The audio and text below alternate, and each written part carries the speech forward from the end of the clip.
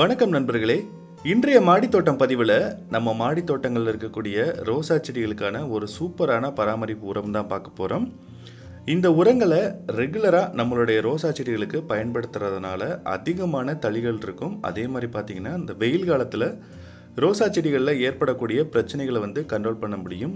நிறைய பேர் நம்மக்கிட்ட கேட்குற கேள்விகள் என்ன அப்படின்னா ரோசா செடிகளில் வந்து தளிர்கள் அதிகமாக வர மாட்டேங்குது அதே மாதிரி பார்த்தீங்கன்னா தளிர்கள் வந்தாலும் வேகமாக கருகுது அப்படின்ற மாதிரி சொல்லியிருந்தாங்க. நான் சொல்கிற முறைப்படி இந்த ஃபர்டிலைசர்ஸ் எல்லாம் நீங்கள் வந்து உங்களுடைய செடிகளுக்கு ரெகுலராக கொடுத்துக்கிட்டே வந்தாலே போதும். உங்கள் செடியில் வந்து அதிகமான தளிர்கள் எப்போவுமே இருக்கும்.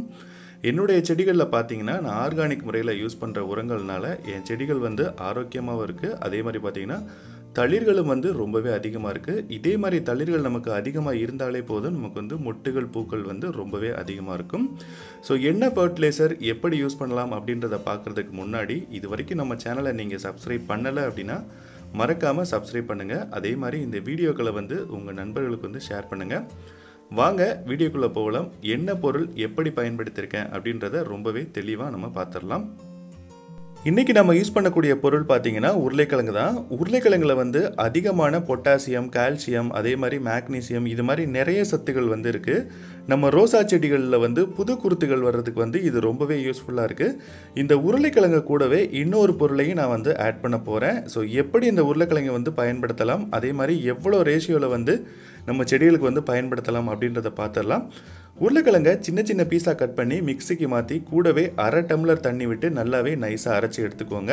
திப்பி திப்பியாக இருந்தாலும் பரவாயில்லை. நம்ம செடிகளுக்கு ஊற்ற போகிறோம் ஸோ பாட்டில் ஊற்றுனதுக்கு அப்புறமா பார்த்தீங்கன்னா இது ஒரு ஒரே வாரத்தில் அந்த திப்பிகள் எல்லாமே நமக்கு வந்து மக்க ஆரம்பிச்சிடும் இது கூடவே ஒரு பொருள் நான் ஆட் பண்ண போகிறேன்னு சொல்லியிருந்தேன். அதான் வந்து மோர். மோரை பொறுத்த வரைக்கும் ஒரு மூணு நாள் நல்லா புளிக்க வச்சுக்கோங்க.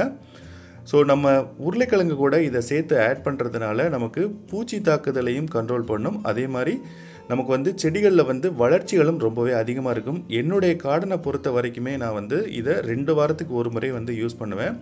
நிறைய பேர் இது வரைக்கும் யூஸ் பண்ணாமல் இருந்திருக்கலாம். நிறைய சப்ஸ்கிரைபர் கேட்டது என்னென்னா உருளைக்கிழங்கு வந்து எப்படி பயன்படுத்தலாம் அப்படின்ற மாதிரியும் கேட்டிருந்தீங்க. ஸோ அதுக்கான தெளிவான விளக்கத்தோட இந்த வீடியோ வந்து நான் பதிவு பண்ணியிருக்கேன். ஸோ இப்போ பார்த்தீங்கன்னா உருளைக்கிழங்கு நம்ம அரைச்சி வச்சது அதே மாதிரி நம்ம எடுத்து வச்ச மோரையும் ரெண்டையுமே மிக்ஸ் பண்ணிக்கோங்க. மிக்ஸ் பண்ணதுக்கப்புறம் இது கூடவே ஒரு முக்கா லிட்டர் அளவுக்கு தண்ணி ஆட் பண்ணி நல்லாவே கையால் கரைச்சி எடுத்துக்கோங்க. ஸோ என்ன ரேஷியோவில் வந்து செடிகளுக்கு ஊற்றலாம் அப்படின்றதையும் ரொம்பவே தெளிவாக பார்த்துடலாம் ஒவ்வொரு செடிகளுக்கும் நூறு எம்எல் அளவுக்கு நீங்கள் இந்த தண்ணியை வந்து கொடுத்தாலே போதும். அதுக்கு அதிகமாக கொடுக்க வேண்டிய அவசியம் கிடையாது. பெரிய செடிகளாக இருந்தது அப்படின்னா ஏழு நாளைக்கு ஒரு முறை இந்த உரத்தை வந்து நீங்கள் கொடுங்க. இதே சின்ன செடிகளாக இருக்குது அப்படின்னா வந்து பதினஞ்சு நாளைக்கு ஒரு முறை இந்த உரங்களை வந்து கொடுங்க. இதனால் எந்த விதமான பக்க விளைவுகளுமே உங்கள் செடிகளுக்கு இருக்காது. அதிகமான தளிர்கள் வந்து உங்களுடைய செடிகள் இருக்கும். அதே மாதிரி பார்த்தீங்கன்னா பூக்களும் வந்து அதிகமாக இருக்கும். கண்டிப்பாக இந்த டிப்ஸ் வந்து ரொம்பவே யூஸ்ஃபுல்லாக இருக்கும் அப்படின்னு நான் நினைக்கிறேன். இந்த வீடியோ உங்களுக்கு பிடிச்சிருந்தது அப்படின்னா மறக்காமல் உங்கள் நண்பர்களுக்கும் ஷேர் பண்ணுங்கள் இது வரைக்கும் நம்ம சேனலை நீங்கள் சப்ஸ்கிரைப் பண்ணலை அப்படின்னா சப்ஸ்கிரைப் பண்ணுங்கள் மீண்டும் ஒரு சூப்பரான ஒரு கார்டன் அப்டேட்டில் வந்து உங்களை நான் சந்திக்கிறேன். ரொம்ப நன்றி.